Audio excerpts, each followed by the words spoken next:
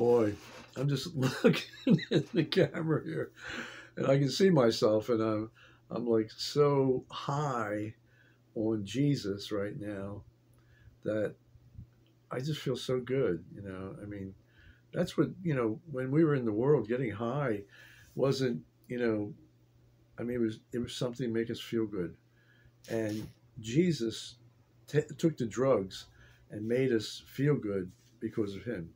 Now, I'm not against you know drugs. I'm not against alcohol. If you want to drink some alcohol or, or smoke some pot, that's up to you.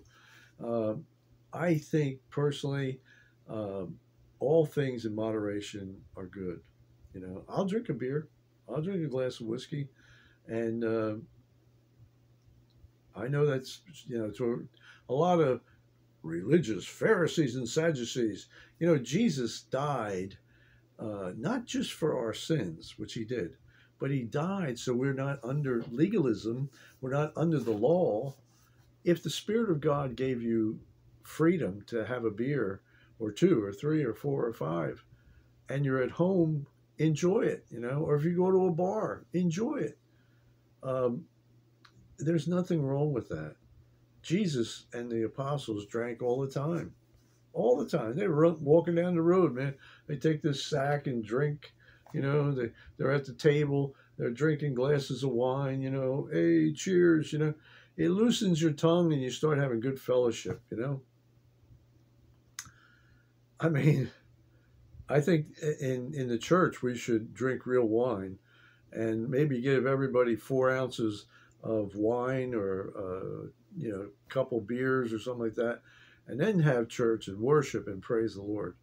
It'll be like a real party that we're praising God because a little bit of wine, a little bit of beer, a little bit of whiskey will loosen your tongue, and you'll if you've got the Spirit of God in you, the righteous Spirit of God, you're going to rejoice. You're not going to be mean or anything you know, the Indians used to get real mean, and, and, and they had good reasons to get mean because of what the white man was doing to them.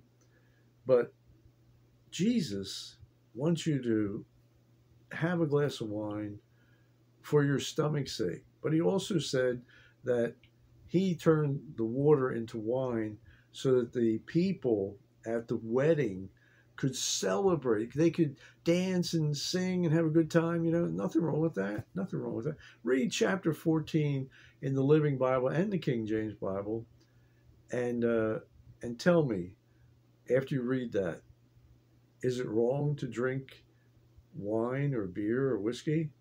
Is it wrong to smoke a joint? To me, I would not smoke a, a joint, even though I had lots of marijuana and did lots of marijuana.